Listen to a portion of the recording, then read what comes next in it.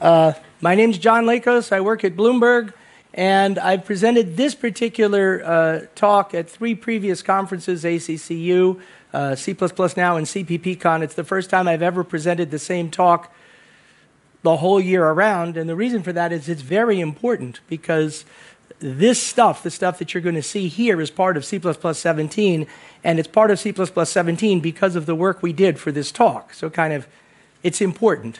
So, it's relevant. So, I pushed everything back, so my this year's talks are going to be given next year. You reuse, it's good. So, welcome. I didn't expect this big a crowd because this is a fairly specialized topic, or at least people think it is. The people who think it's a specialized topic are wrong, of course, because it's very important for anybody who cares about performance. But anyway, I will get to it. It's very dense. Normally, my talks are, you know, six, seven, eight hundred slides. This one's only about 500, but because of the animation, it's more like 5,000. You've been warned. Here's the copyright notice, here's the abstract. You're already here, so you don't need to read this because you're going to get the whole thing anyway. Picture taken. Okay. So, are memory allocators really worth the trouble? I obviously have an opinion. I suspect there are people who are here that don't agree yet that they're worth the trouble. I suspect there are people here that don't know why anybody would ever use a memory allocator because we already have one in C++, you know, new, delete, it's all good, right? Why do we need this? So you don't have to raise your hand and embarrass yourself, but internally think, what category are you in? I already love allocators, I'm here to learn how to use them. Unfortunately, if you're in that category, it's not the right talk. There are other talks that teach you exactly how to use them. Why to use them, when to use them, yeah, this is a good talk. But exactly how, not exactly, because this is not about syntax mostly. This is about why on earth would anybody ever want to do such a thing? Okay, so just want you to be clear. Now, if you want to heckle me, I love it. The trouble is, I won't get through the talk if you heckle me too much in the beginning. So, what I'm asking is if you have a question for understanding purposes, raise your hand, we'll, we'll cover it. If you really want to,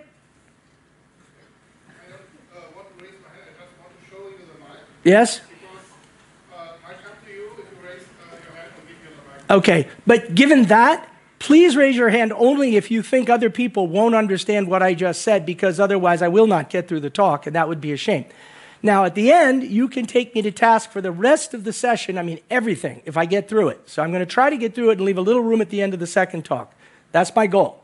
So, with that said, here's the outline. I'm going to give a little introduction and background because everybody's not on the same page. I do not pretend to be an expert in concurrency or anything like that. Uh, I'm pretty good at memory allocators because I've been doing it for since my first book was published back in 1996. And so I have a good idea that they actually are useful. But most people don't agree, and some people will come up with reasons why we don't need them. And well, we'll see if they're right after this. So let's start with why do we like C? Uh, well, it enables us to fine tune at a low level, right? That's why we like it. It's a powerful language. Uh, and it can deliver high, high runtime performance. That's another reason we use it. Why else would we use C and not a more human friendly language, but for performance and saving power, right? Does anybody have another reason to use C? Because it's cool? Is that why we use it? Yes? You're going on record. Somebody take a picture of that man's face. You'll never get a job again. Okay. Why should we care about memory allocators? Well, it's no surprise it helps us to fine tune and we can improve runtime performance. It's the same thing. All right. What are the benefits? Not all memory is alike. Would you agree that not all memory is alike? Has anybody ever heard of shared memory? Has anybody ever heard of cache memory? How about device IO mapped memory? Yeah? Okay. Uh, testing could be useful. Debugging, measuring. Did you ever think that allocators, an interface for allocators, actually allow you to tune your system? What a thought. So, all of these are other reasons why we would want to have allocators as part of our API. And yet, only if you're in senior management do you care about these things. But we all care about performance because that's why we like C. But I promise you, this thing about measuring your boss's boss, if, if your boss's boss is technical, will care about this. All right. So, enhanced runtime performance, better locality, less contention, that's what we're going to talk about mostly today. And then I'll remind you, oh, by the way, that's just one aspect of why we want allocators. But I think if I sell you on the performance, you might just take the others for free. I wouldn't have to convince you, right? If you buy the performance. Yes? No? Maybe? Okay. All right, so this is not something that I just discovered last year. About 1997, I was working at Bear Stearns, and a fellow came up to me and said that, uh, you know, I have a problem. I'm building this model, and it takes about 10 seconds for the memory to go away once I destroy my object. This was in the uh, uh, equity derivatives, and they're building models for pricing and whatever. And so I decided to provide a memory allocator that allowed quick release. The reason that uh, it wasn't a big deal back then, memory allocators were a different kind of allocator, and the benchmarks were all about how fast you could allocate the memory, but no one ever deleted it, so it, that was never measured. You just let the process go away, and all of that leaked memory is it's just fine. So it turns out if you actually wanted to be a good citizen and not leak memory, who wants to not leak memory? Anybody here care about memory leaks? Yeah? Okay. Anybody not ca- camera? Anybody not care about memory leaks? All right.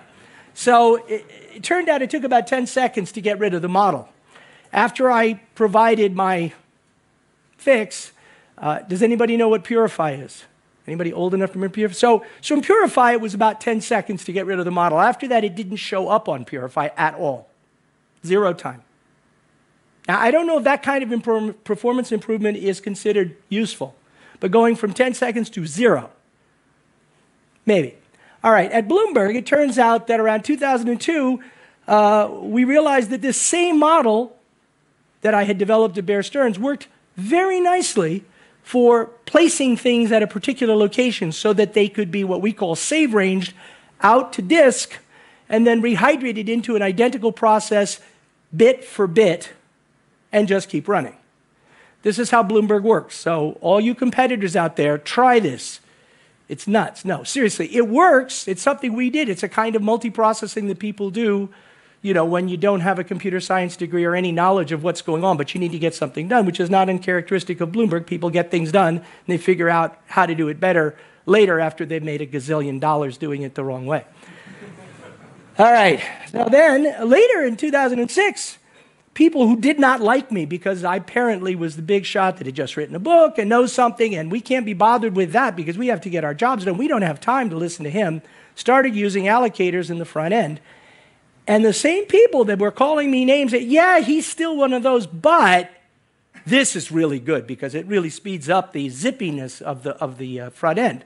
And now, if I were to say, I was just kidding, give that back to, I would be shot. So these are never going to go away from Bloomberg. Now, these are all anecdotal, and I've told this to people for years and years and years, and I'll get people to come in and say, look, we couldn't do without it. And still, no one believes me. I swear, it's like, nah, you don't have any proof. I need to see proof. Do you know proving stuff isn't for free? Does, has anybody ever tried to prove stuff? Okay, I'm going to go write a benchmark. I'm going to get a million people. They're going to work for a year, and they're going to get another million people. They're going to work for a year, and then we're going to compare the results, and that's going to cost how much? So, no, it doesn't work that way. All right, what are the common arguments against? Well, it requires more upfront effort, um, complicates the user interface may actually degrade performance. How many people here believe that if I decide I want to take advantage of memory allocators, that in some scenarios performance could go down? Does anybody believe that? You believe that. You believe that. How many? Come on, raise your hands. Be honest. All right. Okay, I would say a quarter to a third. Now, how many people believe here that if allocators are available to use and it goes down in some scenarios, it would also go up in other scenarios. Does anybody believe that? Mm, anybody believe that it won't go up in other scenarios? No. Okay, so we at least have the belief that once we introduce allocators, there might be some cost to, to allowing allocators to be used, but in certain scenarios, it could speed things up. So, what's a scenario where using an allocator might slow things down? Does anybody want who's really sure that those scenarios exist? What scenario would it be where an allocator slows something down.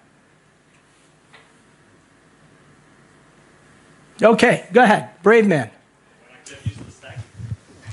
Say, say, say, it into the microphone.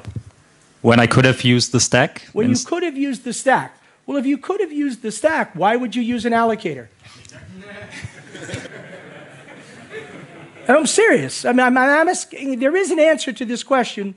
It's just that the answer is, is not based on reality, but I just want to hear the answer. I'll give it to you if you don't know. So, in, in the polymorphic memory allocator model, unlike the C++11 model, the C++17 model, you don't have the option when the allocator is the default allocator to squeeze out that last pointer. You're going to have that pointer in every object that allocates memory. So you say, well, if that's the case, and I don't care about allocators and I'm always using the default, why on earth would I want to pay that performance penalty for every single thing that everybody does when only a tiny fraction of people really care? So that's something you might be thinking about. And that would be a good argument to, to gin up some fear, uncertainty, and doubt, also known as FUD. But if you try to measure that performance overhead, you'd be in trouble. Just saying. Because it turns out that with a little bit of cleverness, it's not an increase in size in the footprint. It doesn't have to be. So just keep in mind that with a little bit of cleverness, that amount of space also lives in the heap. So when you're not allocating memory, there is no extra memory. When you are allocating memory, you're allocating it on the heap, which is not important at all because of the geometric growth and everything. It works out to be the more you use memory, the less it matters as far as the spatial consideration. So I'm just giving you a hint at the kind of FUD that is being broadcast by people. Another thing you might say is wait a minute, virtual function. Oh, that means an indirection and all this runtime. That's going to kill any performance that an allocator might have. You might be saying that too. Stay tuned. Okay? I just wanted to give you a little ammunition.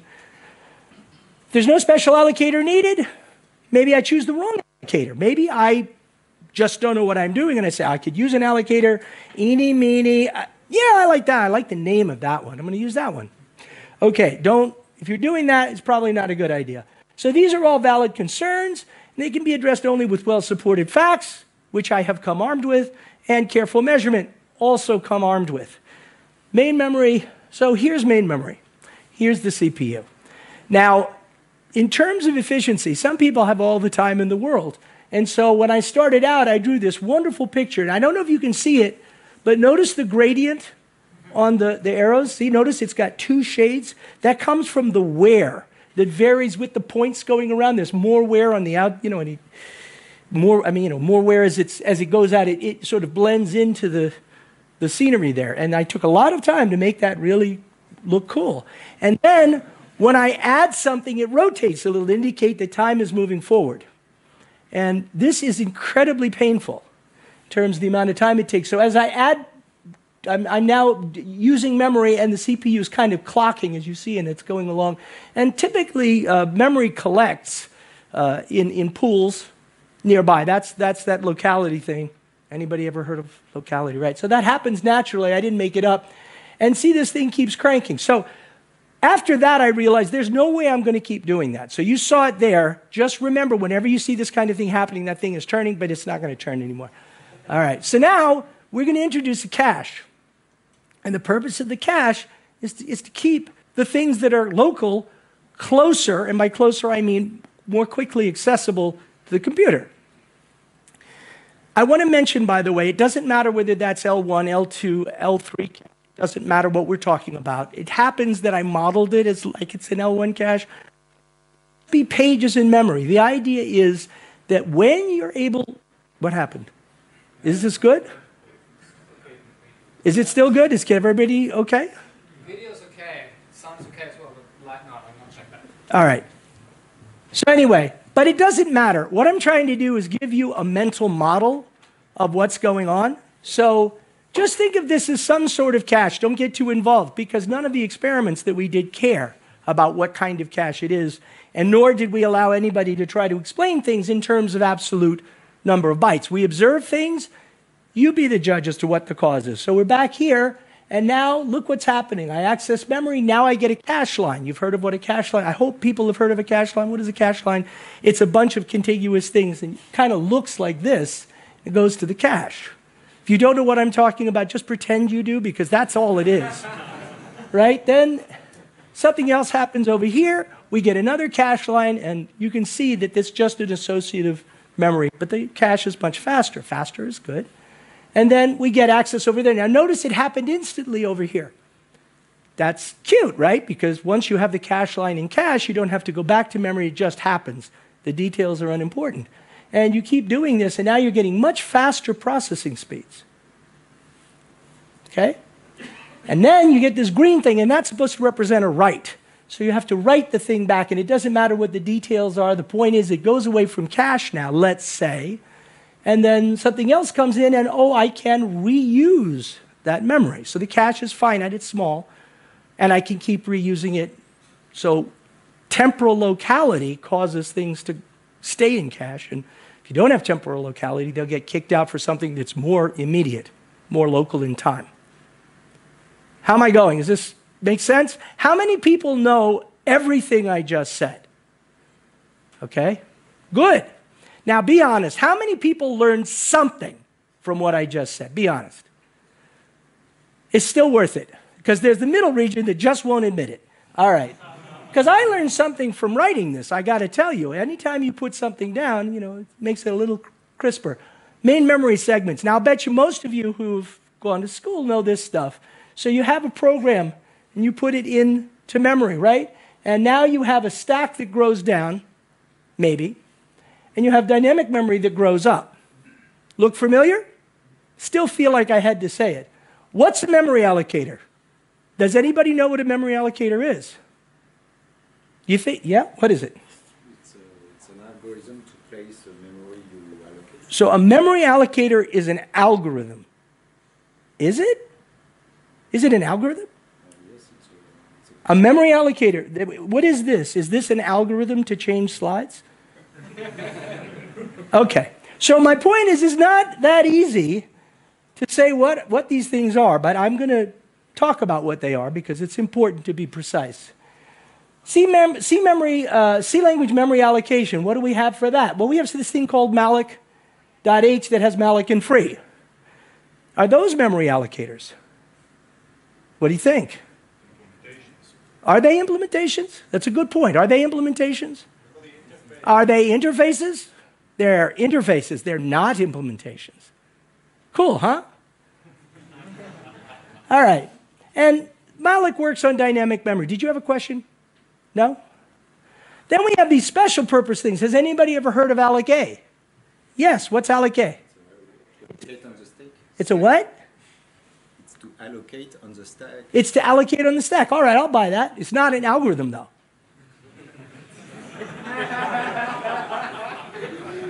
All right. So it's to allocate on the stack. Good. Cheers.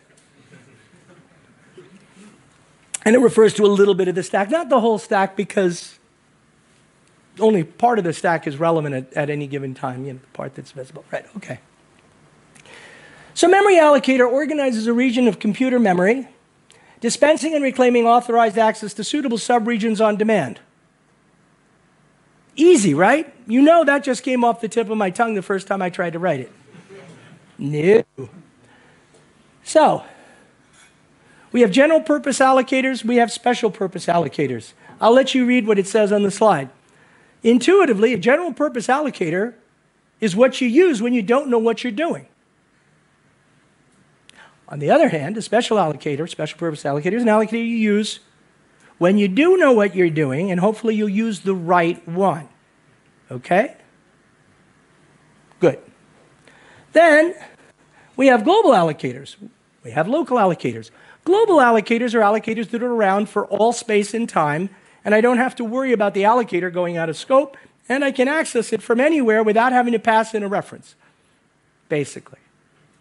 And a local allocator is not so much. You do have to worry about when the allocator is around, and you have to pass access to it because it's an individual object, has space and time coordinates. How are we doing? Okay. So, in C++, we have new. So we have C, malloc is an interface in C, and new is an interface in C++. Not an allocator, right? Now, I know most of you knew that, but if somebody asked you the question, would you have been able to phrase it so succinctly? I think not. So, what we're learning here is accuracy and precision about allocators and what they are. So even if you don't want to admit it, it's happening right in front of you. I know because after writing this talk, I know more about allocators than I did before I started. And I spent months on this. I know. There's stuff here.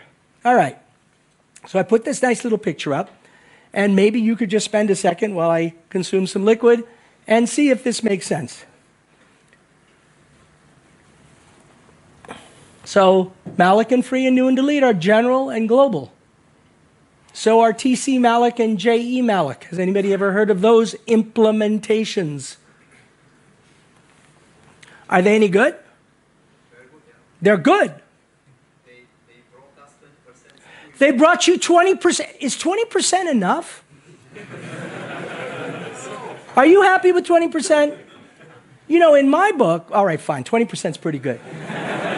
So if you can get 20% improvement on your program and, uh, and your programming and, and, and performance, then you might be able to buy one more million dollar computers.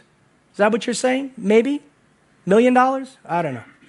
Oh, yeah, we're not in the US. Million euros?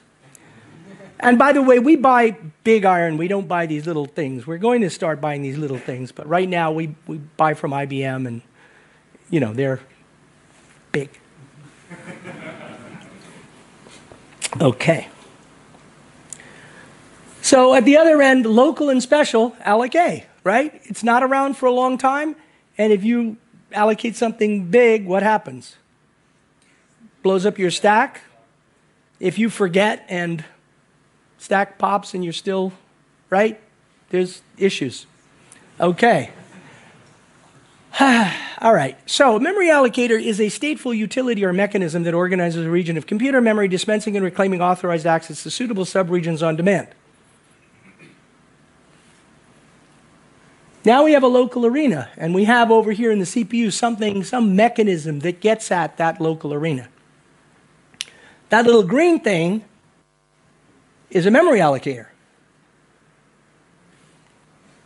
Okay, so just take a look at this code. You'll see here I have this local allocator, some local allocator, and uh, you can construct it with something.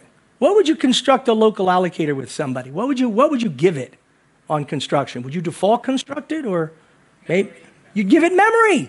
Yes, who said that? Raise your hand. Excellent. What's your name? Arvid? Say it again. Arvid? Arvid? Yes. Arvid's right. That's very good. I'm very impressed. Yes, begin and end. Very well done. So we don't have a default local allocator because that would be silly. It wouldn't have any information to be local. Okay? Now what do we do? The same thing we always did. We allocate memory, we give it back. But we have to let whatever's allocating and getting rid of it know how to get to it, right? Because it's an instance of a type right? An allocator, a local allocator, is an instance of a type of local allocators. We could have many local allocators, right, of the same type. Or we could have different types of local allocators. And it turns out we will have different types of local allocators. Okay. So we have this wonderful property on local allocators that you don't need to ask the container or whatever is asking for the memory. It doesn't need to say give it back. We could just say, as the owner of the whole thing, you're done. So we just, we don't care. The container's been going, all of a sudden we just go, no, it's all over. That may make people somewhat unhappy, except that the person that had 10 seconds go to zero was very happy because that's what we did. We gave the person a local allocator.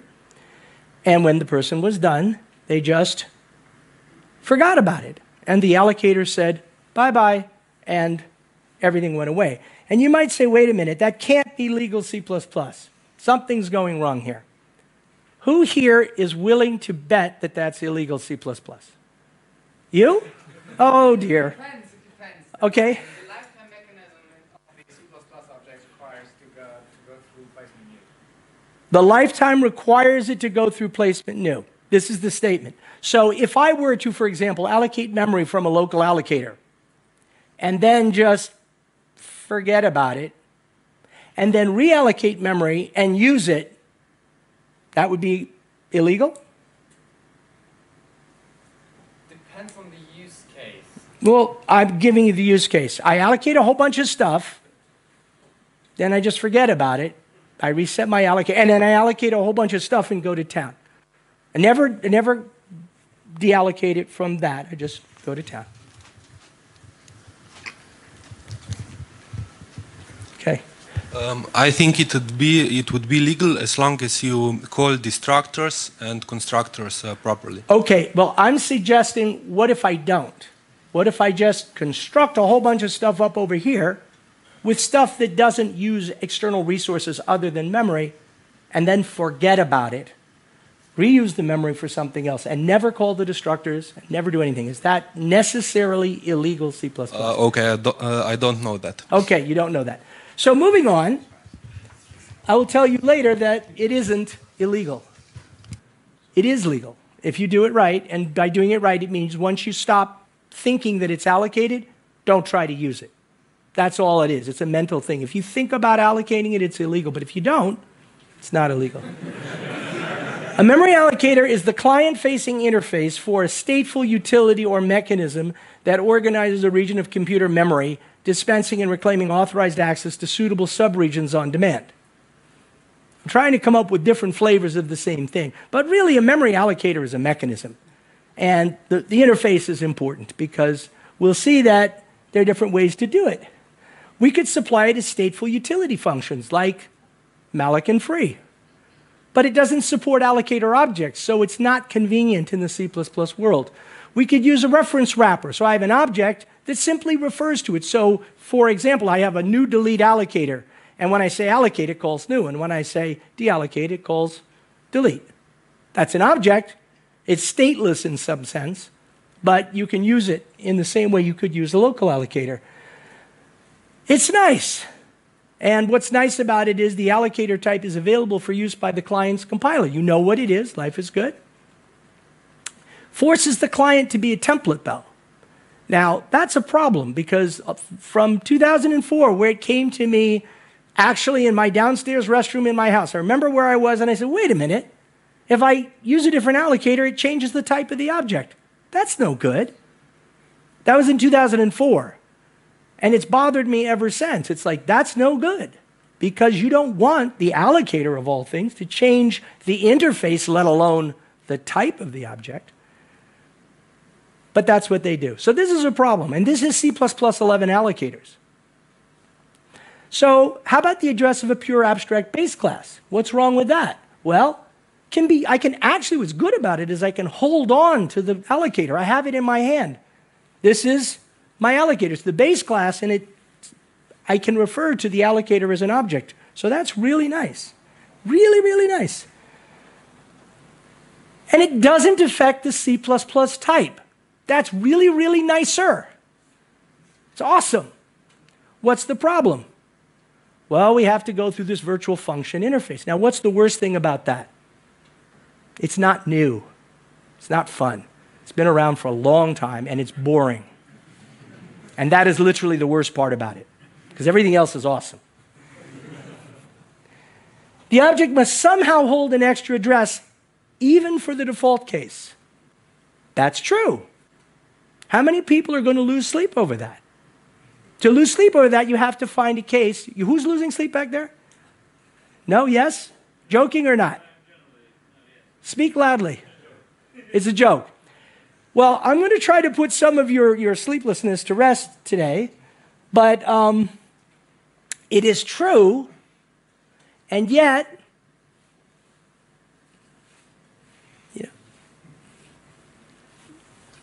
What can I say?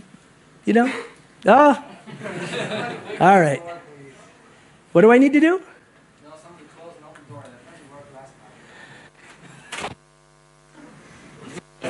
All right. I feel that these are timed a little bit too coincidentally.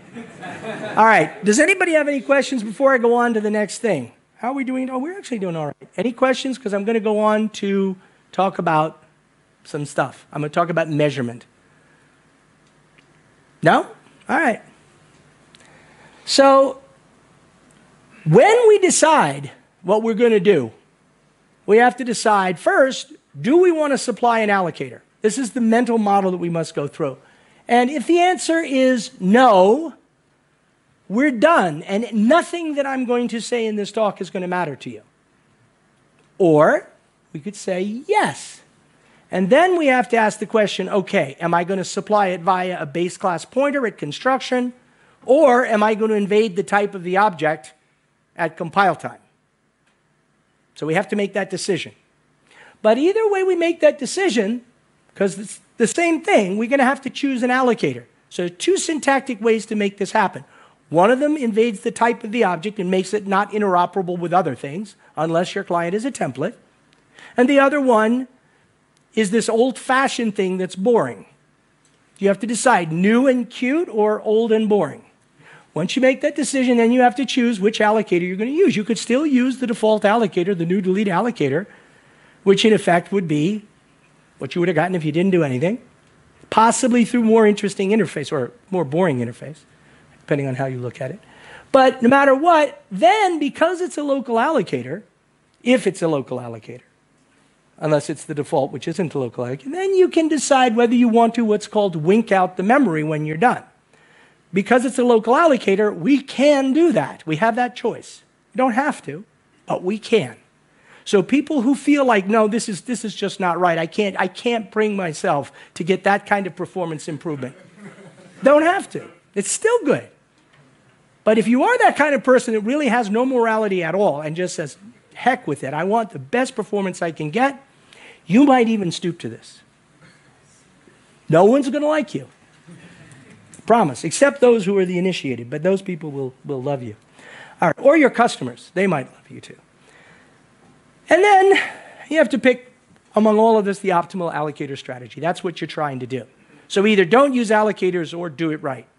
So this is the decision tree. And if I could tell you how to do this, your code will run faster, especially the code that you want to run faster will run faster. And if, in particular circumstances, the amount that it will run faster will boggle your mind. So I will proceed. So we have a bunch of strategies. One of them, we have a global allocator, and we can pass it as a type parameter or as an abstract base class. So for the global, we have two strategies.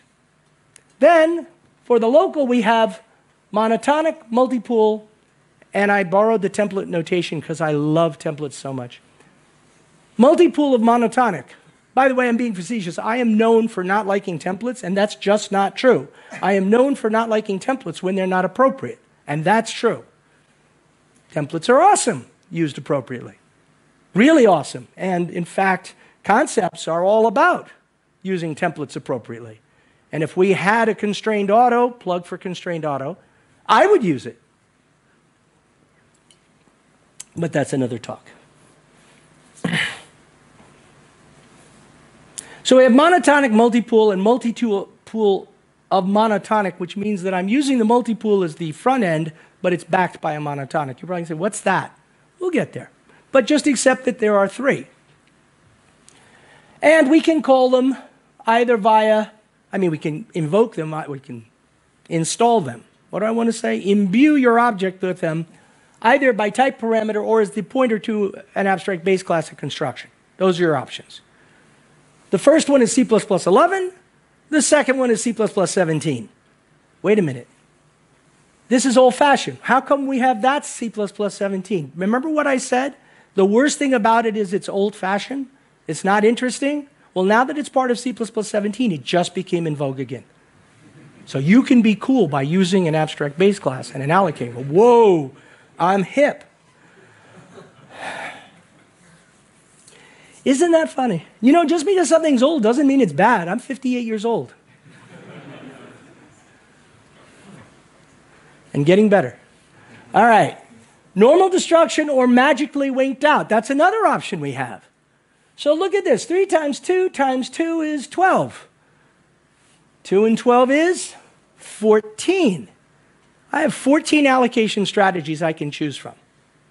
Yes, sir. What do we mean by winked out? Do you remember the discussion we had previously when I said, What if I don't call the destructor? I just say, Forgot about it. I'm over here now. Okay. All right, so here they are. We need to go over these. because if you're going to get your money's worth, you have to know what they are. The good news is there's a lot of repetition, which I'm going to elide, but in the beginning, there's going to be a lot of detail. So let's start with the detail. Here's AS1, and it's the default global allocator. So my allocation strategy relies on the default global allocator, and this is the standard allocator. Okay? And it has allocate and deallocate. And notice that it just invokes those. Okay. This is AS1.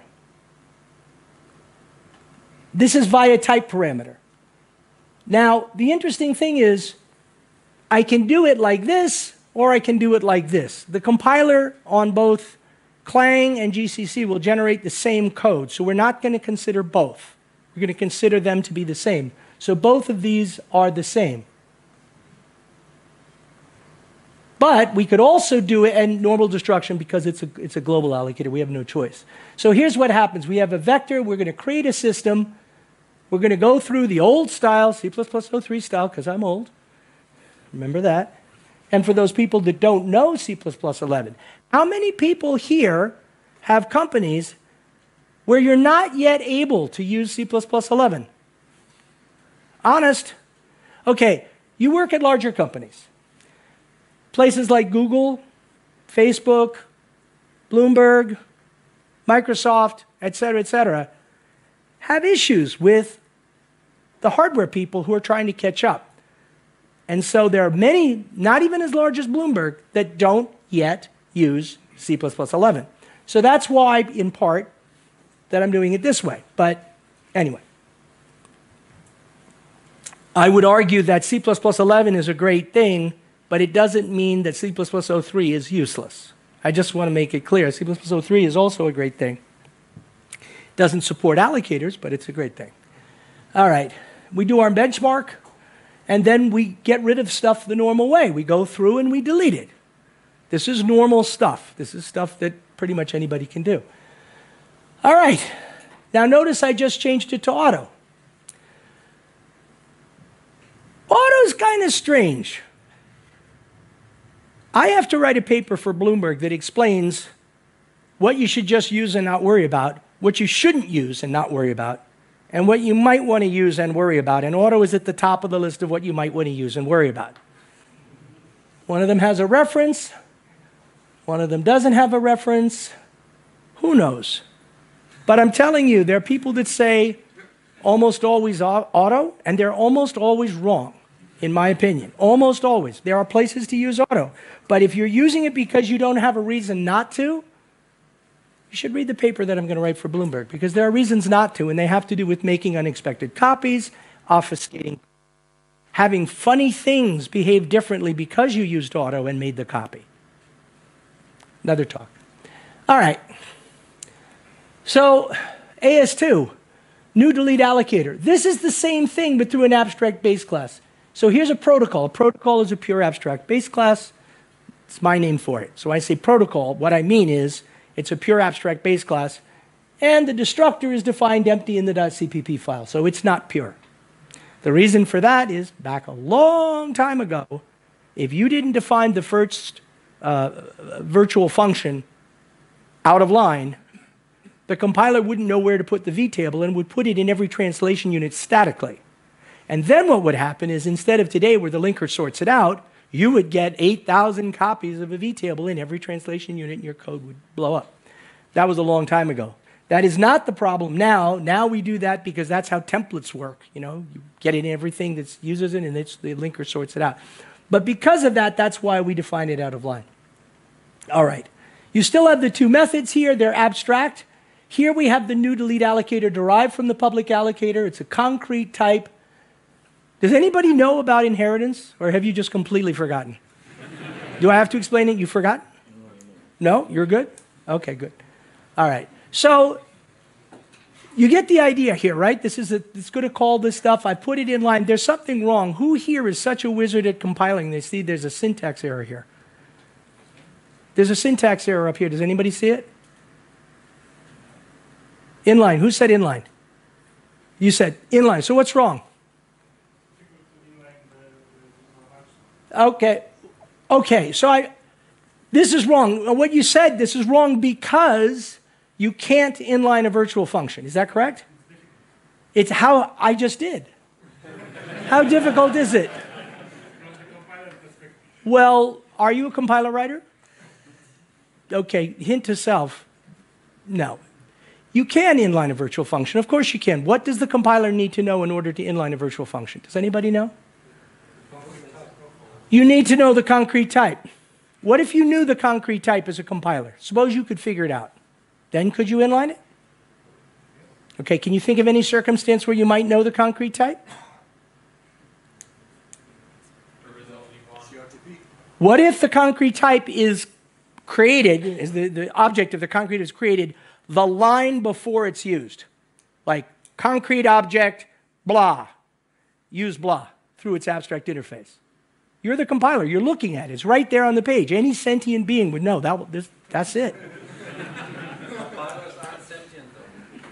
Well, it depends. So Clang isn't sentient, but GCC is a little bit more sentient. And GCC is sentient enough to do that for you pretty much all the time when it can see the code. And if you think about, say, a map, so I create an allocator and then I create a map.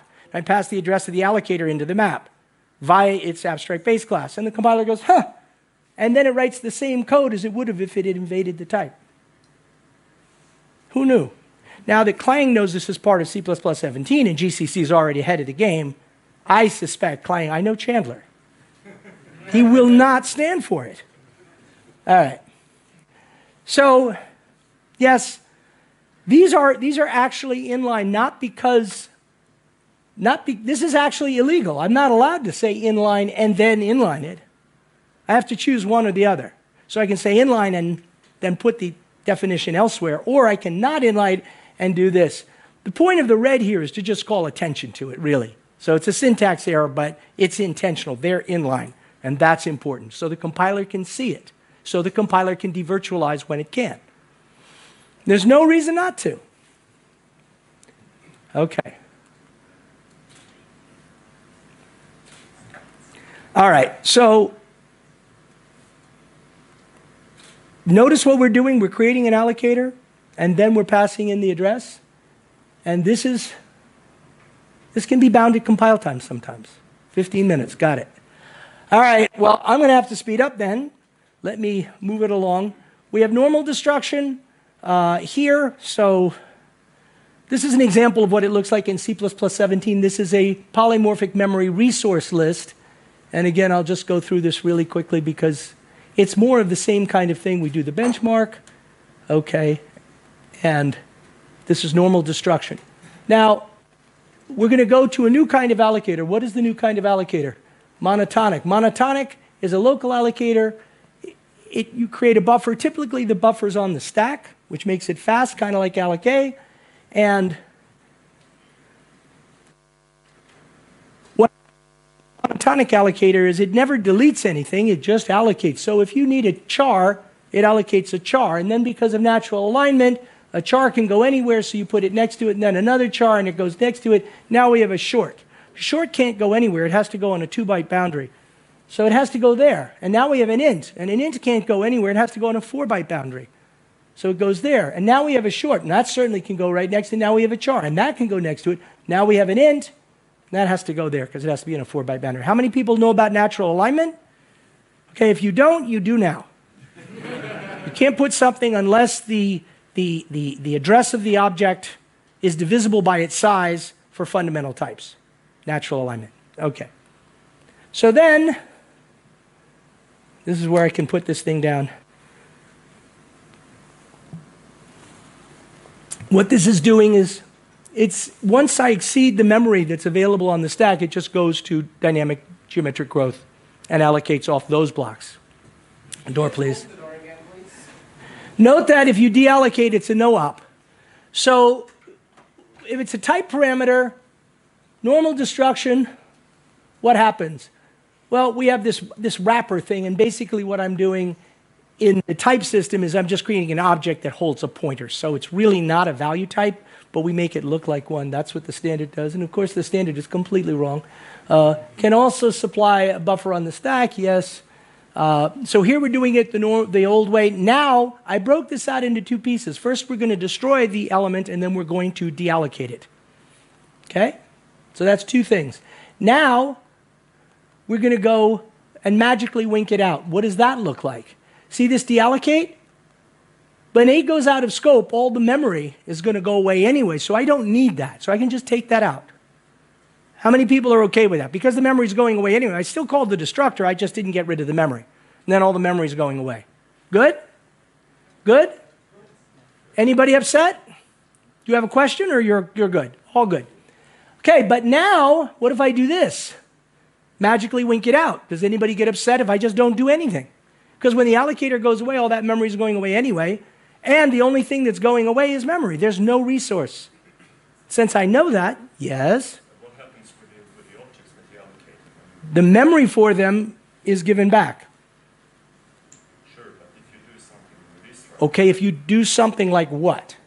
other resources, So other resources. So if you had other resources, you would put them in the documentation. This thing manages a file handle. If that were the case, would you actually do this? No. No, you wouldn't do that. You know, if you were you were shooting at a target and there was a guy walking by right when you were about to pull the trigger, would you pull the trigger anyway? Are you that kind of guy? All right. This isn't Texas, you know. So we wouldn't do that. We would know not to do that. In fact, because we're good citizens, we just wouldn't do that. If we were writing something that managed a non memory resource, if we were good citizens, we'd let our client know that, wouldn't we? Can you imagine writing an object that managed a non memory resource and keeping it a secret? That would be wrong. Those are the kind of arguments that I have trouble taking seriously as an engineer because, sure, if somebody's a lunatic, then you're right. But then why hire them? Okay. So this is legal C. We can do this. And because I'm low on time, I'm going to go through a little bit quicker. It's the same idea. The important one to realize is multipool is different from monotonic. Monotonic is a special purpose allocator, right? Very specific. It doesn't delete. So if you use monotonic, you could use up all of memory if you're not careful, right? You just alloc, alloc, alloc, dealloc, nothing, alloc, alloc, dealloc, nothing. You run out of memory. Not good. So the multipool is a much more general purpose thing.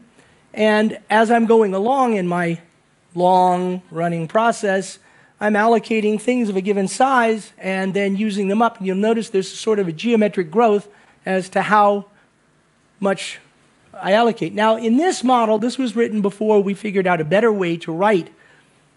So we don't need to saturate. You'll notice it saturates at some point at some like 32, but you don't need to anymore because what this was doing is was sewing the links together. That worked very well, but it's much more aesthetic to not sew the links together and hold two pointers, and now it can grow geometrically indefinitely, and there's no penalty for doing it. Anyway, so that's what a multipool allocator looks like. Basically, it's designed to be able to run indefinitely, and when you delete something, it goes back to the free list. That's the idea. If it exceeds the maximum size, and this is important, it's just a pass through. So all of these things are oversized objects, and they just go through as if it didn't exist. So it's an intermediary for handling small to mid sized objects, but not huge objects. You allocate a megabyte, it goes straight through. Do you understand what the difference is? Here, it's not a no op to, un, un, to delete something. It's not a no op. It actually goes back. So you can use this indefinitely, provided you don't legitimately run out of memory. All right, now, it's really very similar uh, with the winking out, so I'm not going to go through that same idea. And then the combination is just the two together. And again, it's very similar, but you're cascading them. So when the multipool runs out of memory, it goes to the monotonic. The monotonic doesn't give back, but the nice thing is the multipool is acting as the front end. So if anybody knows about analog versus digital circuits, right? Analog circuits have the front end, the leading edge, and you do the the the uh, what is it, the analysis, the small signal analysis at that point. That's kind of like uh, probably lost on a few of you, but anyway, it's kind of like what a multipool is. It's handling the small signal stuff, but the big signal stuff is handled behind. So the DC voltage and then the AC voltage, whatever. All right, finally got to use some of my EE background. So we're going to try to understand the parameters of like what we're interested in. So we have number of instructions and uh, number of active workers, and note that these parameters are deliberately chosen to, to, to be performed independently. What aspects of software affect optimal memory allocation? So what we're doing here is we're setting up for the benchmarks that we're going to look at. So D is for density of allocation operations. V is for variation of allocated sizes. Locality is that of accessed memory. Uh, utilization of deallocated memory, of allocated memory, I'm sorry, and contention of concurrent allocations. So these are five dimensions. How did we come up with these? We worked a long time to try to come up with something to characterize an application or scenario that we could talk about and have a vocabulary because vocabulary is important when you're trying to talk to people. And you know what we do in my group is not so much writing code, but we try to figure out how we're going to explain to the world how to explain to the world what we're doing. You know, it's kind of tough because it's we do some stuff here. So, um, so this is the stuff that we do. So these dimensions are intended to be rough indications. Uh, we could map them onto zero or one, where zero is not so much and one is pretty much. And uh, that's what I just said here. The dimensions are far from independent. It's very hard to come up with the dimensions that's truly orthogonal with another. And ob- obviously, contention is going to be very much tied to allocation and deallocation density. Right? Okay. So here's density. I'm going to put it up, but because I'm short on time, I think you get the idea. We're saying how much of the code is all about allocating and deallocating memory. If I do one allocation in my long running program, do I really care about allocators? Interesting. Do I? Not for, not for the normal reason, but maybe that has to go somewhere. Maybe that has to be over here. If that's the case, yes, otherwise, no. So, zero is we don't allocate any memory. Who cares? And one is every single instruction is allocate or deallocate. Okay? Think about populating a vector of int using pushback. Does that have a high or a low allocation density? Somebody tell me. High or low? Okay, who says high? Raise your hands. You say it's high. So I, I, I let's say I, I push back a billion integers. What percentage of those are allocation instructions?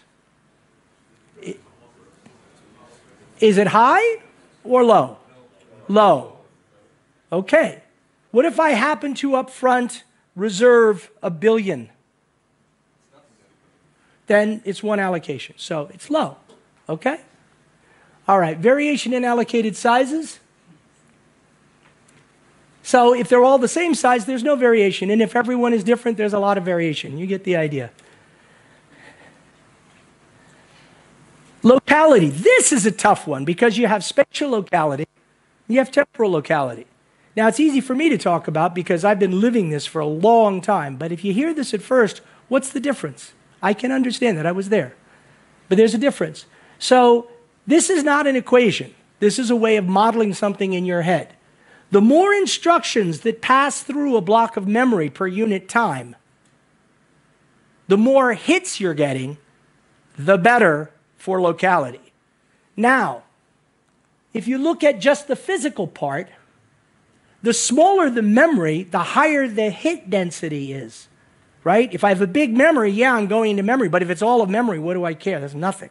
So that makes it a very small locality if memory is all of memory. But if really small, it's like putting a laser with a magnifying glass and really good. On the other hand, if t is the number of times I jump out of this block during this thing, right? If I don't jump out at all, I'm hammering it, right? But if every time I hammer it, I jump out, I'm not hammering it anymore. So if your transitions are a lot, if you're jumping out a lot, your locality goes down. So it's proportional to the number of instructions that you're talking about divided by the amount of memory that you have in your cache or in your, in your, in your block to fit in the cache, and divided by the number of times you jump away before you come back. Again, this is not an equation, this is a mental model. It's a zeroth order approximation, but it gives you an idea. That's all I'm trying to do. Clear? Okay.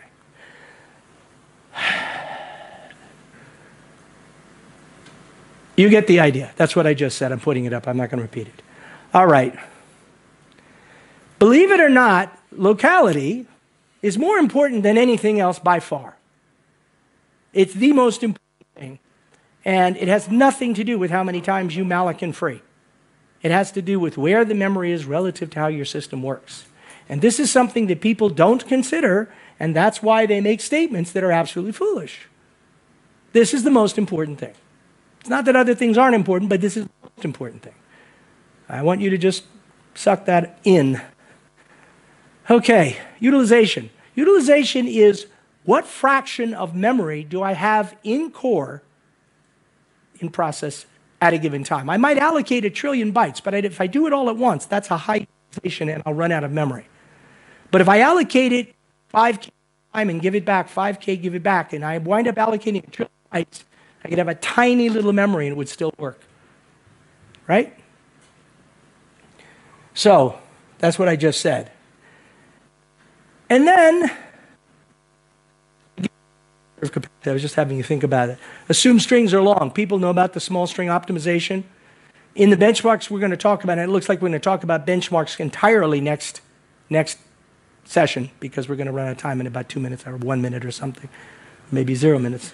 I'm going to finish this. When I stop this, we'll take a break and then whatever. But let me finish this because we're almost done with this. And then contention. And this really isn't a general test. And I will tell you, of all the things that we were testing, contention is the one we tested the least rigorously. And the reason for that is we know without the contention everything we need to know. And we also know because we're intelligent people that if you know more than what can be known by just seeing instructions come in, then you can do better with contention than you could if you didn't. It's more information. The more information comes from being the architect of the program. And when you're the architect of the program, you can take advantage that you do know more and know even more and do even better. If that makes sense. So, what we're telling you is when you know this as a human being, it's completely unfair to any program because you have global knowledge, plus you designed the game yourself. Of course, you're going to win. Of course, you are. So, we didn't try to prove that beyond a shadow of a doubt. We proved it enough. But anyway, we're just doing it because it's one of the things we thought was worth talking about. So remember, we're characterizing scenarios, and to remember this, we needed, we needed a mascot. We needed a mnemonic. And so the mnemonic is Divlok, and the mascot is the duck. Divlok the duck. I can't remember it without that. All right, so I'm going to stop here. You guys take a break. And then if you want to see actual benchmarks, you have to come back for the next session. Little tease.